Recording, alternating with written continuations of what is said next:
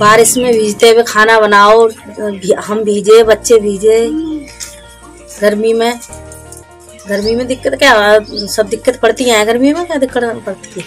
लकड़ियों से लाने में दिक्कत कंडा थोपने में दिक्कत पानी उतर के जंगल में जाने में दिक्कत।